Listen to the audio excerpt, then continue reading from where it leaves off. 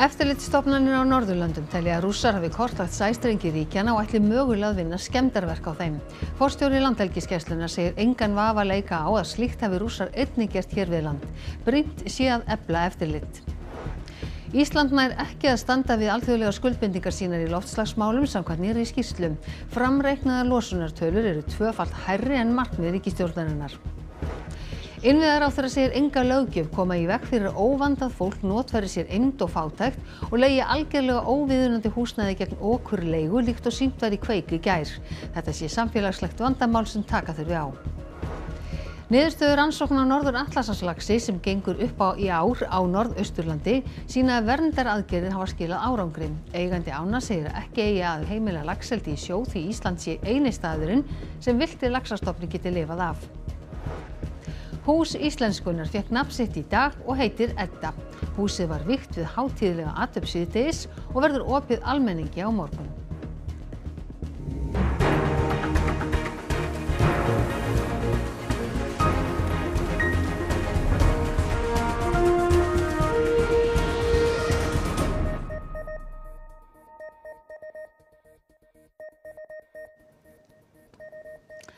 Komiði sæl.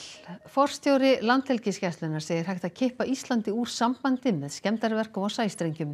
Stjórnvöld í Rúslandi hafa kortlagt fjarskiptasæstrengi og vindmilur hinnan Norðurlandana og hafi úti og telja eftirlitstofnanir þar að rússar skipur ekki skemdarverk. Ríkisfjölmiðlar í Danmörku, Noregi, Svíþjóð og Finnlandi unnu saman að umfjöllunum málið. Hún kallast Skuggastríð og verður fyrsti þátturinn síndur þar í kvöld. Þar segir að skip á vegum rúsneskra stjórnvalda kortlegi innviði ríkjana í Norðursjó. Skipin séu dulbúin sem rannsóknarskipiða tógarar slögt á hefbundnum staðsetningarbúnaði en send radiomerki til herstöðva í Rúslandi. Ljósleiðari millir Svalbard og Noregs skemmtist í janúar í fyrra en sæstrengirnir eru mikilvægir í fjarskiptum á heimsvísu. Stuttu áður hafði rúsneskur tógari silt fram og tilbaka yfir strengin yfir 130 sinnum. Her, her er det jo det, det, er jo et bevegelsesmønster som ser helt ulogisk ut for en tråler. Så kunne man sagt at det må jo ha vært sinnssykt mye fisk der, da. Men det, jo, det, det er jo noe som med over 130 passeringer på et ganske begrensa område. Så nå er ikke jeg noen fisker, men for meg ser jo ikke det ut som regulær trålaktivitet, altså. Danskur leinithjónustu sérfræðingur segir í þættinum að kortlagningin sé hluti af undirbúningi rúsa fyrir möguleg átök við vesturveldin. En hvað með Ísland eru vísbendingar um rúsnesku njósnaskip við landið? Já, við þykjum að hafa nokkuð örgar heimildur um það, já, í gegnum árin. Rúsneskip hafa verið tíðir gestir hér og átt á tíðum í kringum svæðstrengin okkar. Þannig að við telum full ástæði til þess að, að þessu máli sé hugað. Þannig að þið teljið að þér hafi verið að kortleika það? Ég við teljum enga vafa því. Er hægt að valda Íslandi miklum skada á þennan hátt? Það er að kipa okkur úr sambandi meðan minna. Þannig að það er því gríðalt tjón. Georg segir að líkt og önnu ríki sé Ísland illa varið fyrir mögulegum skemdarverkum sem þessum. Flúvið landhelgiskeslunar TFSIF er leið til verkefna í útlöndum hluta ársins. Við þurftum að koma henni heim og nýta hann betur hér ásamt því að auka útgerð varskipa og, og síklingu þeirra. Þannig að við getum að betri yfirsin yfir, yfir lagsóðuna og svæðið. Ísland kennst hvergi nærri að ná þeim loftslagsmarkmiðum sem ríkistjórnum hefur sett sér. Þetta kemur fram í landskíslu umhverfistofnunar um losun. Umhverfisráþur að segir að vænta mig stóra skrefa í nýri aðgerða áallin. Í skýrslunni sem var nýlega skilað til saminuðu þjóðana og ESB byrstir umhverfistofnun nýjar losunartölur fyrir 2021. Losun á gróðurhúsaloftegundum jógst á nýju eftir að hafa dreyjist talsvert saman í heimsfaraldrinum og gert er að fyrir að hún hafi aukist enn frekar í fyrra. Umhverfistofnun framreiknar einnig losun Íslands til 2030 meðað við þær aðgerðir stjórnvalda sem hafnar eru nú þegar og þær sem áætlað er að gripið verði til í nálagri framtíð. Það er á þeirri losun sem er á beitni ábyrð íslenskra stjórnvalda. Þar er nýjeru kvorki losunartölur vegna landnótkunar eða skóraktar, nýja útblástur stóriðju og millilandaflug sem þurfa að kaupa losunarheimildir í gegnum viðskiptakerfi ESB. Dregnar eru upp tvær sviðsmyndir. Önnur sviðsmyndin gerir ráð fyrir að núverandi aðgerðir skilir samdrætti um 24%. Hins sviðsmyndin inniheldur viðbótar aðgerðir sem ríkistjórnin hefur útlistað og skilar samdrætti um 26%. Alþjóðlegar skuldbindingar sem við þurfum að standa skil á krefji okkur þó um 29%. Uppfærið markmið ESB hafa þó áhrif á þær skuldbindingar. Gert er ráð fyrir að uppfæriðar kröfur verði nær 40% á næstu vikum. Sjálfstætt landsmarkmið ríkistjórnarinnar er svo að draga úr losun á beitni ábyrð Íslands um 55%. Ísland nær því ekki að standa við alþjóðlega skuldbindingar í lofslagsmálum samkvæmt útreikningum umhverjastofnunar og er hvergi nærrið því að standa við eigin markmið. Af hverju erum við ekki nú þegar farin í aðgerði sem að skila þeim árangri sem við verðum að sjá?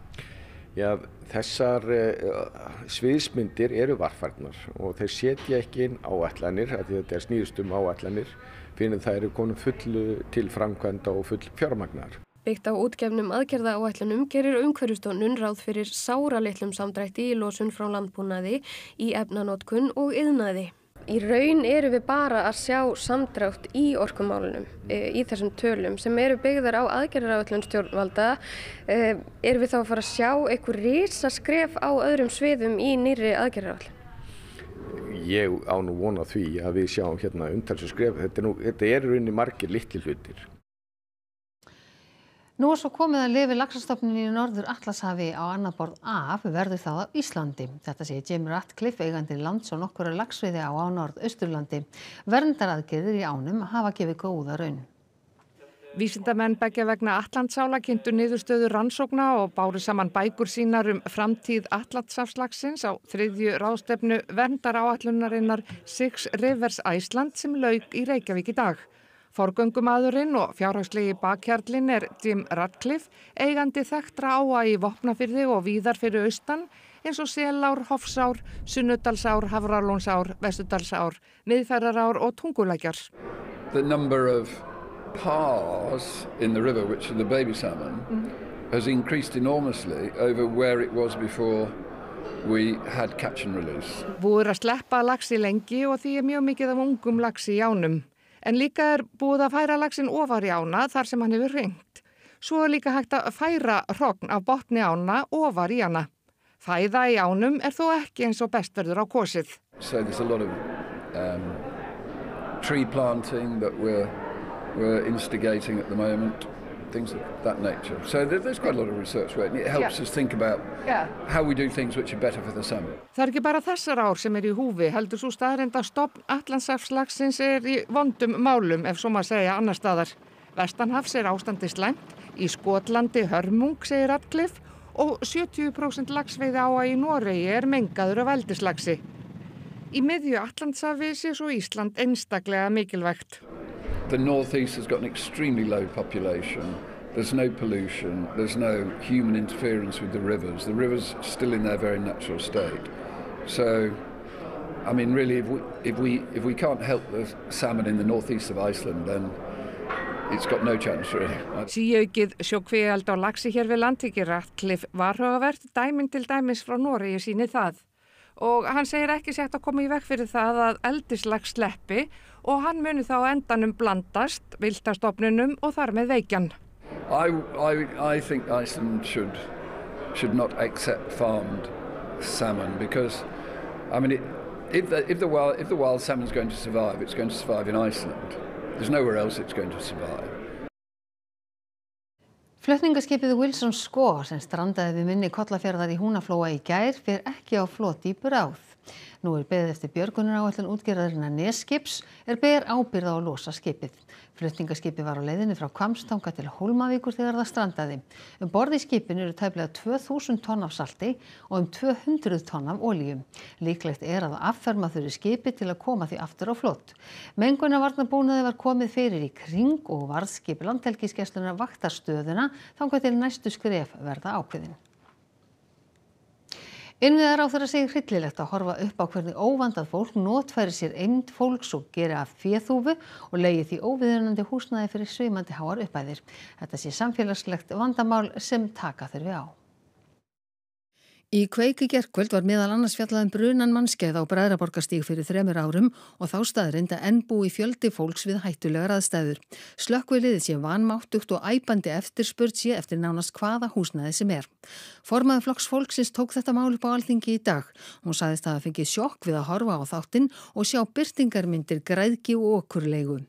Og maður veldi líka fyrir sér hvernig stendur á því, hvernig stendur á því að það þarf fjölmiðla til þess að draga fram þann óþverra sem að sjálfsagt þúsundir búa við í dag án þess að ríkisvaldið skipti sér af því nokkuð skapaðan hræðilega hlut. Inga Sæland beindi máli sínum til innviðar á þeirra og bendi á að húsnæðismálinn hefðu verið á forræði framsóknarflokksins árum saman, ríki og sveitarfjölög gætu ekki hort upp á þetta meir. Umfjöllunin veitti ákveðna einsýnin í aðbúnað og húsnæði fólks sem er algjörlega óviðunandi í okkar samfélagi, getur verið sammála háttustu þingmanni um það. Ráþara benti á að tveir starfsópar hefðu skilað af sér skýrslum eftir brunan á Bræðaraborgarstíg með tillögum til úrbóta, unnið væri eftir þeim, margt komið til framkvæmda og slökkvilið hefðu fengið frekari heimildir. Á þessu sviði er verið að vinna mjög góða vinnu og ég vænti þess að við munum sjá lagafrumvarp hér á næsta þingi sem munum taka á þessu. Þá er lagaumgjörðin komin en það kemur auðvitað ekki vekk fyrir það að óvandað fólk misnoti eymd og, og fátækt fólks til þess að bjóða því þessa aðstæður sem að við sáum því miður í gerð. Það þarf að taka á og það er samfélagslegt vandamál. Rúta með 15 um borð vald ofan í svartáðið Sörbæði skagafyrð um klukkan 2 í dag. Seks farþegar voru fluttið með sjúkrabílum til Akureyrar en enginn slasaðist lífsættulega. Hörskuldur B. Erlingsson aðalvarstjóri lauruglunar á Norðurlandi vestra saði í samtali við fréttastofa að aðkoman að sleysinu hefði ekki verið góð þar sem rútan lá á hliðinni ofan í áni. Hinnum nýju sem voru í rútinu var ekki til Akureyrar með björgunarsveitarbílum. Heldarkostnaður við byggingu nýs landspítala eru 210 miljardar króna og verkefnið er það dýrasta í Íslandsögunni. Á bættist ríflega 13 miljardar við í dag þegar ákvörðunum var tekin um að byggja nýja einingu undir geðsvið landspítalans. Ríkistjórnin bóðaði í dag til upplýsingafundar þar sem hún fór yfir helstu verkefni og kostnað í tengslum við uppbyggingu nýs landspítala. Þar var því lístað frá árinu 2010 hefði kostnaður við fyrstu skóplustungu og sjúkrahótel og 13 ára tímabili kostað 29 miljardar króna.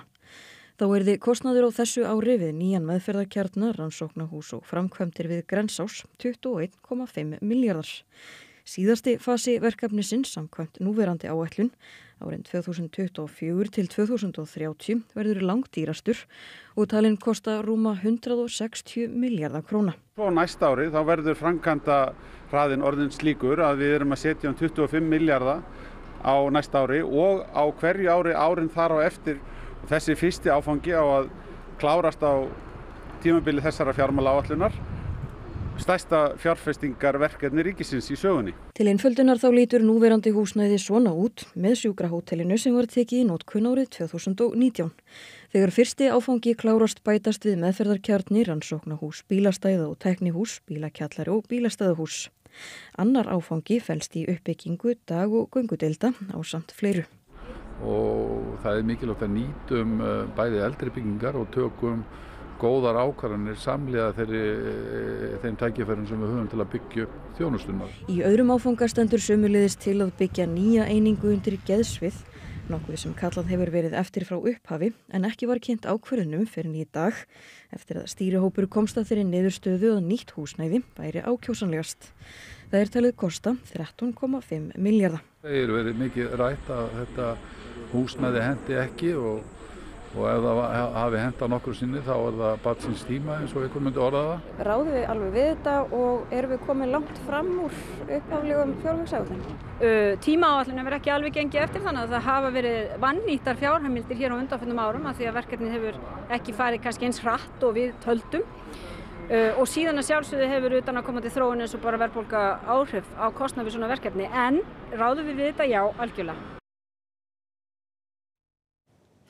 Um 2500 keppendur og gestir Andresar andarleikana eru nú komnir til Akureyrar en 47. leikandi verða settir í kvöld. Nú Ágúst Ólarsson fréttamaður, hann er stattur í blíðunni á Akureyri. Ágúst, þú ert í skrúðgöngu eða hvað?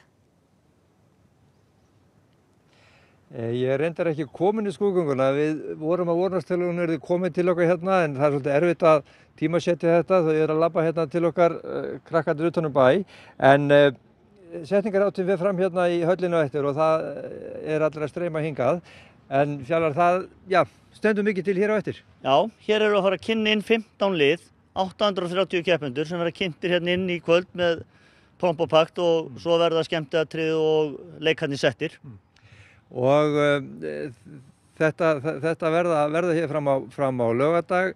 Uh, það er 17 stöðu hitt til akkurir í dag. Er nógu snjór? Já, það er nógu snjór þar sem við ætlum að keppa. Við erum búin að vaka yfir þessu frá því á sunnudag með 10 til 17 gráður og eldast við snjóin upp um allt fjall og þetta verður geggja á morgun. Þannig að það verður snjór í brautónum? Það verður snjór í brautónum þar sem við keppum. Ása, e, þú ert já, segirum mér næstuði búin að koma hér á hverju árið 30 ár. E, það er eitthvað við þetta? Já, það er eitthvað annað. Þetta er bara það besta við skýðin mm. og klára veturinn hér á andarsandalegunum. Mm. Og uh, þjálfvararnir, þetta er ekki bara skýði, er margt annað? Já, þetta er miklu meira það. Hér er dagskraf frá mótni til kvöld, svo mm. það er bara nógum að vera, kynast nýjum krökkum og þegar veðrið er svona að vera allt svo skemmtlegt. Mm. Er þetta uppskýraháttið? Algjörlega uppskýraháttið allra skíðakrakkana mm. og þau býða spennt eftir að koma hérna á hverju voru og klára vertið hérna. Takk og kjalla fyrir þetta. Við erum enna að horfa eftir skrúgangunni og hérna en hún kemur og uh, ég veit ekki hvernig við endum þetta. Ég held að segja bara gleðilegt sumar. Gleðilegt sumar ágúst í blíðinni 17. hita á Akkurir og góða skemmtun í kvöld. En við förum aftur til Reykjavíkur. Hús Íslenskunar heitir Edda. Nafni var tilkynnt við vikslu aðtöfn húsin síðtegis. Forstöðumæður Árnastofnunar segir að spennandi tímar séu framöndan í Eddu. Árið 2005 ákvaðu stjórnvöld að verja fétt til byggingar hús fyrir starfsemi stopnunar Árna Magnússonar í íslenskum fræðum. Þar einnig að varða þetta handrit og önnur frumgögn. Fyrsta skóplustungan var hins vegar tekið nokkru síðar árið 2013 en byðin var alls ekki á enda. Eftir að grafið hafði verið fyrir grunni húsins gerðist að var lítið í um 6 ár framkvæmdir hófust að ný 2019. Og nú er húsið tilbúið. Það var vikt í dag og við viksluna var því gefið nafn. Og það er mér sönn ánægja tilkynna það hér með að hús íslenskunar heitir Edda. Nafnið Edda bar sigur bítum í nafnasamkeppni um heiti á húsið. Um 1580 tilugur bárust frá hátt í 3400 þáttökundum. Í áliti domnumdar segir að nafnið sé lipurt, fallegt og sér íslenskt en jáframt þekkt á alþjóðlegum vettvangi. Edda verður nýtt heimili Íslensku og menningadeitar Háskóla Íslands og Árnastofnunar. Þetta er náttúrulega búið að vera daldi byggtími og mikil eftirvæntingi lofti. En nú, nú er komið að þessu við húsið er reysið svona fallit eins og það er og stórkastu umgjörð finnst okkur um okkar starfsemi á átnástofnun og líka Háskóla Íslands. Þannig við lökum mjög mikið til að flytja.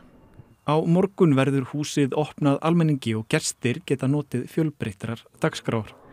Það er auðvitað ekki búið að flytja inn í húsi þannig að það er aldrei gaman að byggingin sjálf er í aðalutverki. Það er hún sem skín núna þessa fyrstu daga og síðan þurfum við að, að flytja inn bækur og gögn og fólk og handrit svo það er spennandi tíman framöndan.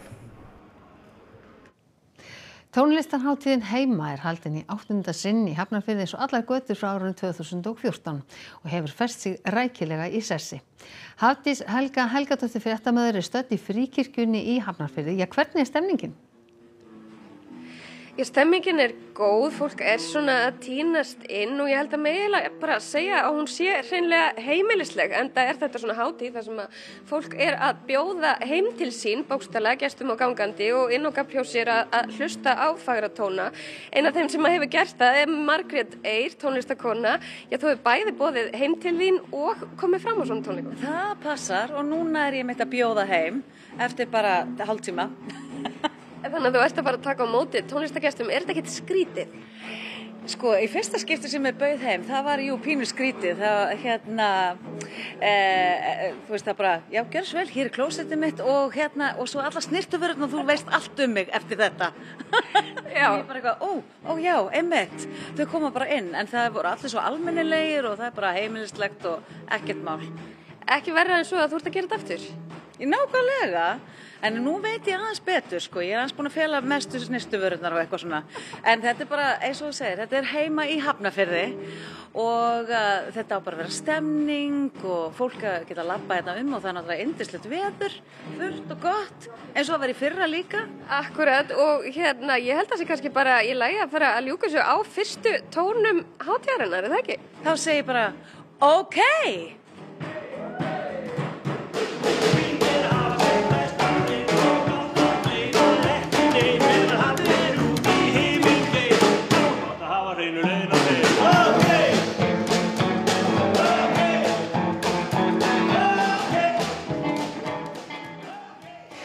Já, takk fyrir þetta frá tónlistarháttíðinu heima í Hafnarfyrði og þetta var í fríkirkjunni í Hafnarfyrði. En nú ætlum við að vita hvað verður í Kastlössu kvöldsins. Í Kastlössu kvöld ætlum við að fjalla um stöðu leyenda en mörg dæmi er um að leyendur þurfa að búa í óbóðlegu húsnæði, svo er sáum sláandi dæmi um í kveikíkjær. Við ræðum líka við Natasju S., rúsneskan reytöfund sem er búsett hér á landi og mótmælir innrás rúsa í Úkrænu kröftulega. Við vendum hvað okkur svo í krossilokk þáttar og skoðum ettu, hús íslenskra fræða sem var vikt í dag. Við ætlum að líta til veðurs, sumadagur í fyrsti heilsar með sunnan gólu og létt skíðu veðri víðaskvar, norðvestan til verður þó suðvestan strekkingur með rigningu þegar kemur fram á morgundaginn. Hiti verður á bylunu 5-16 stig en það er Sigurður Jónsson veðurfræðingur sem fyrir nánar yfir horfur næstu dagarloknum íþróttafréttum sem Kristjana Arnarsdóttir sérum í kvöld. 32 leið úslit mjölkur byggast Karla í fótbolta hófust í dag. Stjarnan og IPVF mættust í fyrsta leik dagsins í Garðabænum. Eikló Fandal Sturludóttir bætti Íslandsmetsviti í jafnhendingu á Evrópumótinu í olimpískum liftingum í Armeníu í dag. Og auðkífingurinn Jim Ratcliffe vonar að Manchester United komist aftur í fremstu röð verði hann eigandi liðsins. Og þá ætlum við að rifja pelstu aðtriði fréttatímans. Eftirlitstofnanir á Norðurlöndum telja að rússar hafi kortlagt sæstrengi ríkjan og ætli mögulega að vinna skemdarverk á þeim. Forstjóri landhelgiskessluna segir engan vafa leika á að slíkt hafi rússar einnig gert hér við land. Brínt sé að efla eftirlit. Ísland nær ekki að standa við alþjóðlega skuldbindingar sínar í loftslagsmálum samkvæmt í skýrslu. Framreiknaðar losunartölur eru tvöfalt hærri en markmið ríkistjórnarinnar. Innviðar á þeirra segir enga löggjöf kom í veg fyrir óvandað fólk notfæri sér eimd og fátækt og leiði algjörlega óviðunandi húsnæði gegn ofurkurleigu, líkt og syngt var í kveik í gær. Þetta sé samfélagslegt vandamál sem taka þurfi á. Niðurstöður rannsókna á norður Atlasarslagsi sem gengur upp í ár á norðausturlandi sína verndaraðgerðir hafa skilað árangri. Eigandi ánar segir að ekki eigi að heimila lagseldi í sjó því Ísland sé eini staðurinn sem vilti lagsastofning geti lifað af. Þá er þessum fréttatíma ljúka og það kom það íþróttum veður og svo kastlefsi. Það eru næsti fréttatímar í útvarp og sjónvarpi klukkan 10 í kvöld. Nýjustu fréttir má alltaf finna inn á rú.is. En við ætlum að segja þetta gott þessum aðverð þessum degi. Njótið í kvöldsins og verið í sæl.